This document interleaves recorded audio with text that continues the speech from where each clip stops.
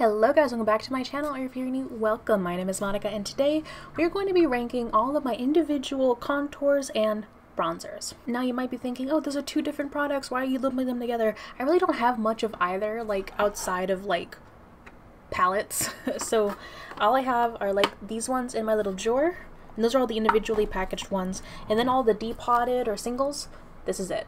So, like, all together, well, maybe I should count. One, two, three, I only have 12. so I thought if anything, if I'm going to rank them, I might as well just do them together because if I split them up, we're going to have like six bronzers and six contours. I will not be including any uh, bronzers, like I mentioned before, or contours that are in face palettes. I already ranked all my face palettes. If you missed it, I'll throw it up in the cards if you want to check it out. I also ranked all of my foundations and all my highlighters. I think the highlighters are the most recent video, so I will also have that up in the cards if you guys want to catch that one as well. This is definitely not going to be as long as the highlighters video. I think I talked for like a half an hour about highlighters, so that one's a bit of a long video. But I'm just going to pull these out of the containers, go ahead and rank pre-rank them, and then we'll jump into discussing them. Again, I'm going to do it like my other videos, starting from the bottom, working my way up to number one. Alright, so starting at the bottom of this list, hmm, this, thankfully, I didn't pay full price for this. this is from ABH, and this is the ABH bronzer in Tawny. I'm pretty sure I found this at a TJ Maxx. It's just really orange. Like, it's it's a decent, like, amount of product and a decent shade-ish, but I found out that once like I blend it out on my skin, it just looks really orange on me. Super orange. That combined with the fact that it's so expensive, and the powder the formula itself isn't like the best. Like there are obviously a lot of other better options here. I picked this up because I was excited to see it at TJ Maxx and because it was a new thing you know back when ABH wasn't doing a nosedive. Remember? Yeah, those days? This was a new thing. Everyone was talking about these bronzes when they first came out and so I was really excited. I really wanted to try it and I just meh meh Next we have a bronzer from Makeup Geek. And again, I tried this because it was like the thing back when Makeup Geek, back when I was buying from other problematic people. And this, again, is just like a meh bronzer. It's not the best, it's not the worst.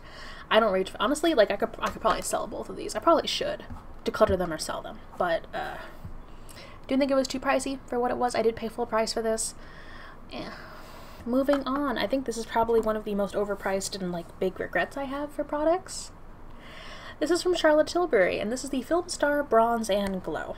Everyone, well, a lot of people and their mothers were hyping this up for the bronzer. This wasn't worth the price. Uh, it was not. It was not. I probably need to put this in an upcoming, like, Project Pan so I actually, like, finish it up because I just want to use it and get it out of my face. But it's just like, okay, I do like the shade. It is a very pretty shade and it does blend out really nicely but not $80 worth of blending out really nicely. No. I think, uh, who else hates this? I think it was, um, Smoky Glow also bought this because of the hype and also hates it. Like, it's, it's, it's not worth the price. It's not. and I include this in my bronzers and not in the highlighters because it does have a highlighter because I mainly got this for the bronzer. Mainly to try out a Charlotte Tilbury bronzer.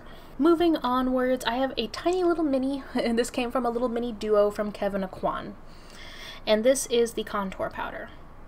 This is a nice contour powder. It's not the best. Again, not the best, not the worst. I almost hit pan in this. You can actually see I did use it enough. But this is way too much money. Like, I will never buy the full size of this contour powder. It's too much money. Uh, I think this is actually a fairly close dupe for the Smashbox contour shade, which I have further on this list. Get the Smashbox one. Don't buy the Kevyn Aucoin one. Even better, get a Milani one. We'll, we'll talk about that later. But like again, not not worth the price. I'm glad I got a mini and I glad I got to try it out. Not buying this full price. Next we have the, well, one half of a Wet n Wild Contour Duo. So I'll throw a picture up right here to show you what the actual duo looks like. It's like half highlighter slash face powder and half uh, bronzer slash contour. This, I really like the formula, but it does look a little orange on me. I'm keeping it because I did depot it and I had to add magnets to the back of it. I want to find a way to make this work for me because I don't want to just get rid of it.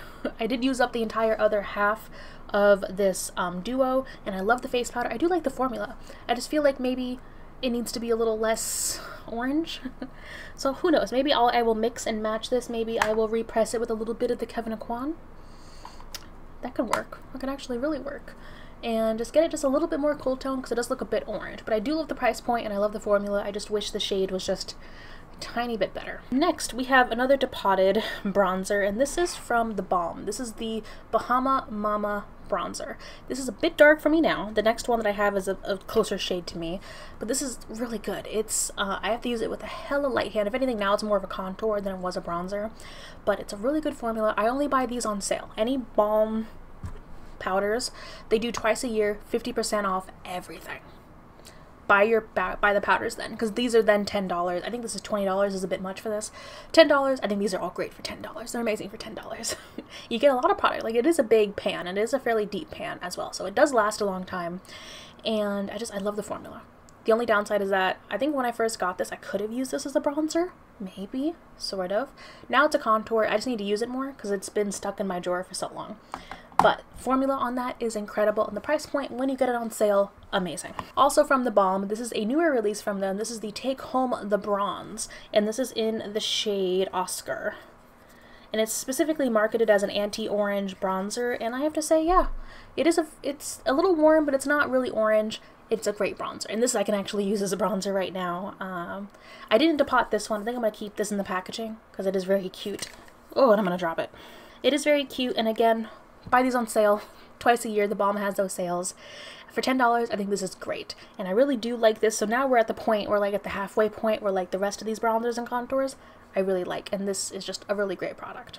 Next, we have a Smashbox contour product. This is a depotted contour product. No, this is a depotted bronzer shade from their trio. I'll throw a picture up right here. They have a contour palette trio. This is the bronzing shade. I really like this. I, I love Smashbox face powder. They're a bit expensive, but I really do love their um, bronzing and contour powders. They're just buttery. They're gorgeous. They're just bah. Um, I probably could have kept this in the packaging. I don't know why I depotted this, mainly just to see if I could. Um, but I really do like this bronzer. It's a really great bronzer. And even better, next I have the contour shade from that same trio. And this I pan in. I freaking love this contour shade. It's like my perfect idea of a contour. It's like the perfect cool toned shade. Just, this is great. I might have to repress this soon because I do like to work in the middle of the pan whenever I go in with my contour brush. This is a great product. I don't know if I would rebuy these because I have found some other like dupes in different palettes, specifically from the Profusion palettes. But I gotta say, these these are really good from Smashbox. Next, this is an expensive product that I actually really like. I, I know most of this video was just like, is it expensive? It's probably bad. This makes me eat crow. This is from Burberry. And this is technically not even a bronzer or a contour. It's, it's called a blush. It's called a dark earthy blush.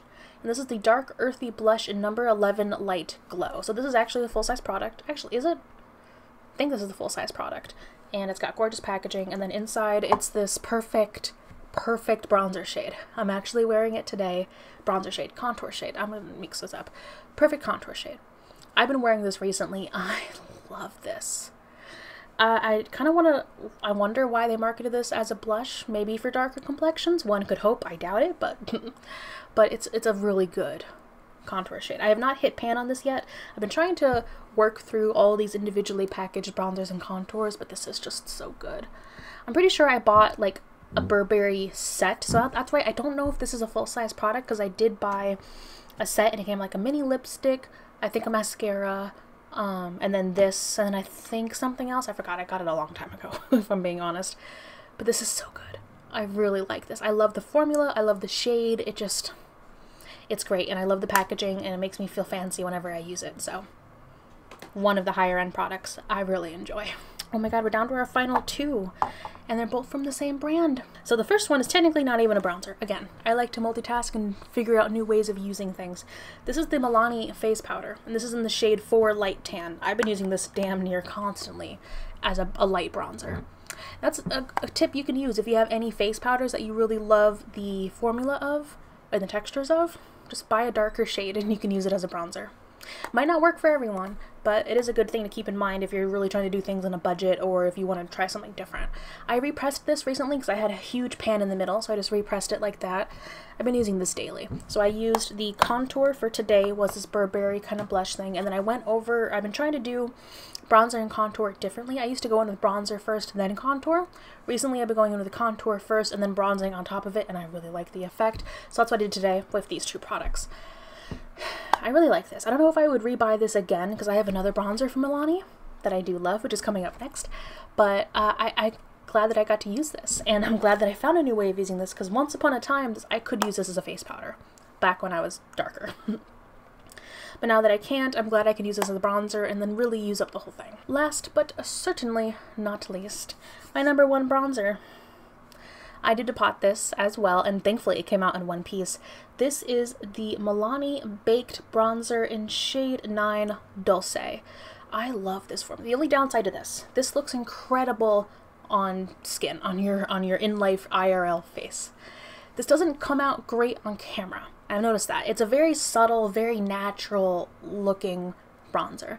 And whenever I wear this, I saw a few months ago when I wore this on camera, you really couldn't tell I was wearing any bronzer. But like in person, not in these studio lights, it looks incredible and it looks lovely. I love the formula. I love how much product you get in this. It's a domed product. This isn't even the full thing. I've worn this down to get it kind of flat and that's how much I used it.